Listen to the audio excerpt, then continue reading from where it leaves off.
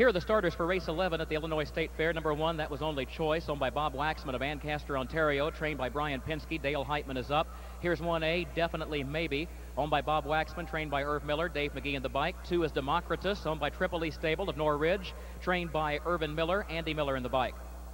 Number three, Winchester's Best, owned by Larry and Gary Northrup of Winchester, trained by Sean Walker, Tony Morgan, the driver. Number four is Sandmaster, owned by Bill Sanders of Stevenson, Alabama, trained by Tony Bell, the driver Tom Simmons. Number five, The Black Cat, owned and trained by Harry Von Knobloch of Monee, Brent Holland is the driver. Number six will be Spec D Delivery, owned by Don Laufenberg of Highland, Wisconsin, trained by Lloyd Dalton. Ken Holliday is the driver. Number seven is Fox Valley Luxor, owned by Roger and Don Sampson of Long Grove, Rucker Stable Incorporated of Beecher, and Marty Engel of Buffalo Grove, trained by Katrina Rucker. Mike Oosting is up. And number eight, Prayer Warrior, owned by Tom and Sally Mae Amundsen of Clinton, Wisconsin, trained and driven by Jesse J. DeLong. Five minutes to post.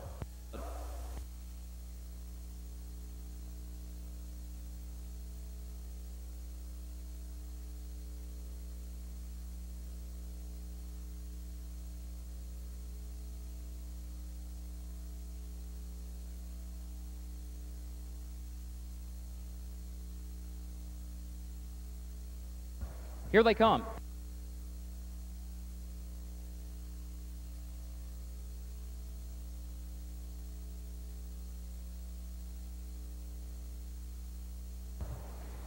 They're off and pacing, and Winchester's best is first away. Only Choice gets away second. The Black Cat comes out third.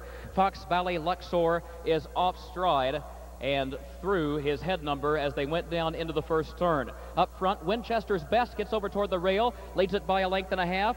Only choice will go second by a length. Definitely maybe is parked and moving up third around the Black Cat. Then Democritus, Sandmaster, Spec D Delivery is 10 lengths off the early lead. Prayer Warrior next to last, and Fox Valley Luxor trails. Opening quarter 27 and two fifths seconds. Here comes definitely maybe on the outside to put ahead in front. Winchester's best is second by a length and is followed by only choice. Then the Black Cat, three more lengths. Back to Democritus, who's sitting in the center of the pack, eight lengths off the leader, and is followed by Spec D Delivery, Sandmaster on the inside, then Fox Valley Luxor and Prayer Warrior is last, the half in 55 seconds. Racing into the final turn, definitely maybe, has made the top by a length. Winchester's best is second a length. Only Choice goes third by a length. Spec D Delivery fourth, and here comes Only Choice. Only choice is off the rail from third into second and up to challenge for the lead. Midway on the final turn, only choice leads at a half length. Definitely maybe is second,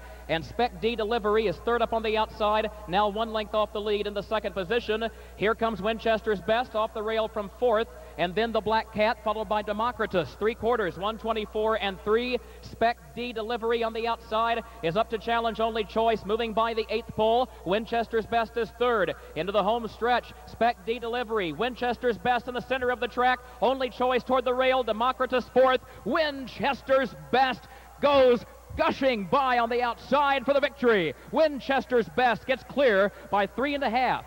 It was Spec D delivery second only choice was third, Democritus fourth, and the time was 152 and two fifths.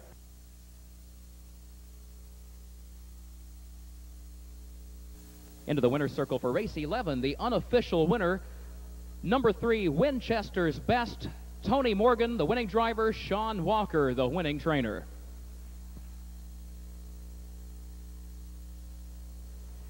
Two-year-old gelding by Sportsmaster, owned by Larry and Gary Northrup, who bred this two-year-old out of the Hit the Bid mare, Sure Fine Sugar. Result is still unofficial.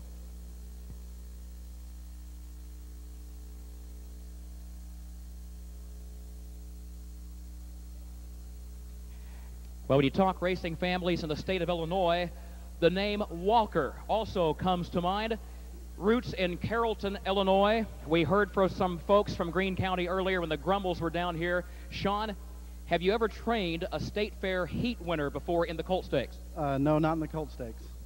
I had a trotter two years ago, but it was just in the Isobas. Correct me if I'm wrong. Tom is your father. Larry would be an uncle. Bob Walker would be an uncle.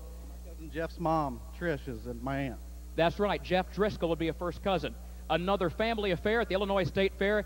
Folks are learning, if you didn't know it already, Greene County has a really strong harness racing community. And who's the young man? My boy Nathan. Nathan is how old?